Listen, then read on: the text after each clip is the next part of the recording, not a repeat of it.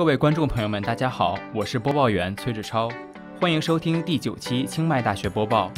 首先向大家介绍今天的主要内容是：清迈大学举办数字投影展，成为清迈首个历史主题新模式学习中心。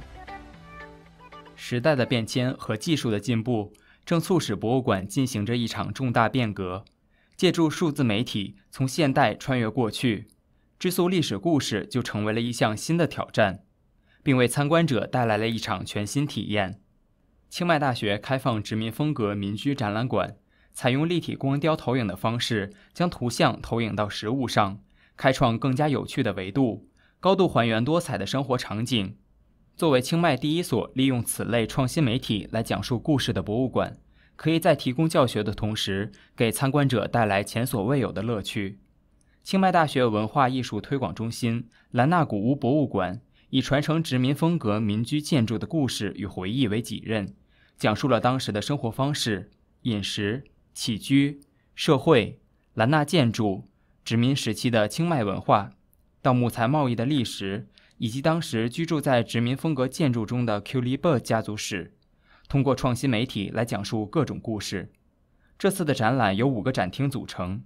一号展厅“清迈人民着装文化展”，展厅采用立体光雕投影，将影像投射到男女模型上，以展示从拉玛四世到拉玛七世不同时代服装的演变过程。二号展厅“玛丽尼女士记忆中的班林赫宅美食展”，玛丽尼女士是 q u l i b e r 先生的女儿以及最后一任继承人。她记忆中的美食是泰北咖喱猪肉和香蒜咸猪肉。展览的亮点除了在锅上投影烹饪模拟场景外，参观者还可以闻到烹饪美食时的香味。三号展厅泰北木材贸易展，同时这也是 q u l i b e 先生原本的职业，讲述了当年店家木材交易的故事。四号展厅 q u l i b e 先生的班林赫宅展，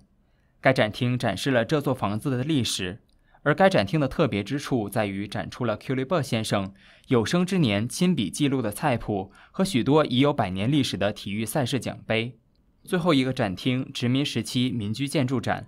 该展厅集中展示了与 q u l i b e r 家宅同时期的建筑。如果您对本次展览感兴趣，可通过以下方式联系我们，以获取更多详细信息：清迈大学文化艺术推广中心兰纳古屋博物馆电话。零五三九四三六二六，网站 https: 冒号杠杠 art 杠 culture 到 cmu 到 ac 到 th，成为充满生机的艺术和文化活动推广、继承和传播中心，是清迈大学兰纳古屋博物馆发展路线之一，并立志使其成为了解可持续发展型生活方式的学习场所。通过数字媒体帮助参观者置身于展览中。让博物馆化身成为每个人身边的知识宝库。以上就是我们清迈大学播报的主要内容，感谢您的收听，我们下期再见。